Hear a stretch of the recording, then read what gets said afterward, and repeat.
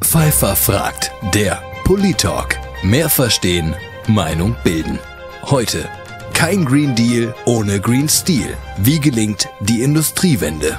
Live aus dem Quartier von ThyssenKrupp in Essen. Ja, wir brauchen äh, mit, bis 2050 äh, Klimaneutralität. Es sind nur noch 30 Jahre. Wir bauen normalerweise in Deutschland in 30 Jahren Umgehungsstraßen. Jetzt brauchen wir eine komplette Energie- und Industriewende. Das ist sehr anspruchsvoll, aber die Bundeskanzlerin würde vielleicht sagen, alternativlos. Und deswegen müssen wir da an das Thema ran. Wir alleine mit unserem Standort hier in Duisburg sind ungefähr für zwei Prozent der deutschen Emissionen verantwortlich. Das heißt, wir sind heute ein großer Teil des Problems, damit aber auch ein sehr großer Teil des Lösungshebels. Die gute Botschaft ist, die Technologien sind da. Es gilt sie zu skalieren. Es gilt sie jetzt mal groß zur Anwendung zu bringen, um auch Erfahrungen zu sammeln. Dazu bedarf es einer ganzen Menge Wasserstoff. Und ich glaube, da haben wir alle gemeinsam eine sehr große Herausforderung. Ich spüre eine sehr große große äh, Euphorie auch in der deutschen Industrie. Ich mache ja gerade eine Tour durch äh, Deutschland und besuche Wissenschaftseinrichtungen und, und Unternehmen ähm, und äh, spüre da wirklich sehr, sehr großes nicht nur Können, sondern auch Wollen. Wenn man die Ziele des Green Deals ernst nimmt, wenn man die Ziele des Landes, des Bundes ernst nimmt, in Richtung Treibhausgasneutralität bis 2050, dann geht es eben nicht ohne grünen Stahl. Und insofern ist das Ziel ein Stückchen weit gesetzt. Und das, was jetzt, glaube ich, wichtig ist, dass wir die Rahmenbedingungen politisch, aber auch äh, Industrie schaffen, um den Einstieg in die grüne Stahlproduktion. Mehr als 50 Prozent der Großindustriegasmenge wird verteilt über die Stadtwerke, also kommt aus den Verteilnetzen. Und mehr als 90 Prozent der Industriekunden sind auch angeschlossen an den Verteilnetzen. Das heißt, die Dekarbonisierung der lokalen Industrie funktioniert natürlich nur, wenn wir den Wasserstoff auch in die Verteilnetze bekommen. Das heißt, kein Green Deal ohne Ohne lokalen Wasserstoff inklusive Verteilnetze. Nur über das Thema Stahl haben wir es tatsächlich geschafft, es in die Köpfe von Politikern wie zum Beispiel Ursula von der Leyen oder Franz Timmermann zu bringen. Ein spannendes Thema, gute ja. Besetzung und ich ja. denke, wir haben auch die ein oder andere neue Antwort auf Fragen auch hier entwickeln können. Das gemeinsame Bemühen, jetzt hier wirklich voranzukommen, das spüre ich in allen Häusern. Und ich sehe mich jetzt in der Tat schon als Treiber aus dem BMWF heraus, äh, um die Strategie jetzt hier auch zu einem Erfolg zu machen. Also quasi, Sie sind jetzt Mr. Wasserstoff und der Hirtenhund der Bundesregierung in Sachen Wasserstoff. Das finde ich in Ordnung. Uns ist sehr klar, bis 2030 werden wir allein den Wasserstoffbedarf, den wir bis dahin brauchen, mit Sicherheit nicht grün irgendwie mit Pipelines bei uns ähm, ähm vor Ort ähm, zur Verfügung haben. Wenn man die schottischen Kollegen Kollegen zum Beispiel hört, die packen alle unsere Windfarmen von der Größe her in ihre Windgebiete und sagen, wir können immer noch eins oben draufsetzen und da produzieren wir dann den Wasserstoff, den wir nach Europa liefern. Also das ist unglaublich, wie viel Wasserstoff eigentlich entstehen kann äh, in den Offshore-Farmen. Wer es schafft, Stahl zu dekarbonisieren, na, der hat eine Menge erreicht. Aber gleichzeitig, wenn wir das machen, muss man dem Stahl auch eine Chance geben. Die Stärke von Nordrhein-Westfalen ist eben die Forschung, Industrie. Landschaft äh, ist natürlich auch der Nachfrage.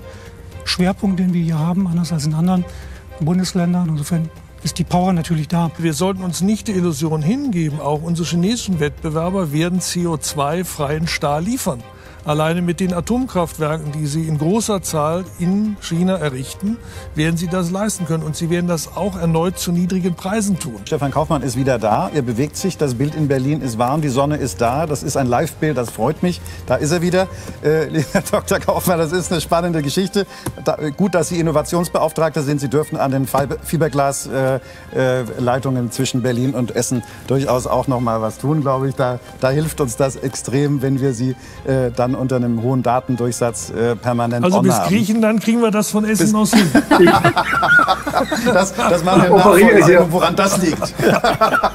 Lieber Stefan Kaufmann. Ich, ich operiere hier mit zwei, äh, mit zwei iPhones und das eine hat sich gerade wegen Überhitzung verabschiedet. Oh, okay. Das ist gar kein, okay, äh, ich sitze hier in meiner wunderschönen, aber sehr heißen Dachgeschosswohnung. Ähm, also das sind wirklich ganz triviale Probleme, die sich hier stellen. Also, Entschuldigung dafür. Alles gut. Man hat eben schon gemerkt, dass jemand ist, der sich vorbereitet auf ein Thema, der im Thema drinsteckt äh, und dem die Bälle auch aufnehmen konnte. Das ist schon durchaus eine, eine Kunst, die man beherrschen muss, ist nicht einfach irgendwas abzuarbeiten, was man sich vorher als fünf Fragen aufgeschrieben hat, sondern wirklich die Bälle aufzunehmen, das lebendig zu gestalten. Das hat mir gut gefallen. Da muss man sich schon gut darauf vorbereiten. Also es ist auch eine anspruchsvolle Moderation. Das ist nicht so an der Oberfläche, äh, sondern man merkt, dass er da auch mit Herzblut rangeht. Und das finde ich auch sehr gut, weil dann kommen auch intelligente Fragen und dann muss man schon seine äh, Gehirnzellen auch zusammennehmen, um dann eine gute Antwort darauf geben zu können. Wir wollen bis zum Ende dieser Kommission, also von der Amtszeit von Frau von der Leyen, ähm, tatsächlich eine Million grünen, erneuerbar hergestellten Wasserstoff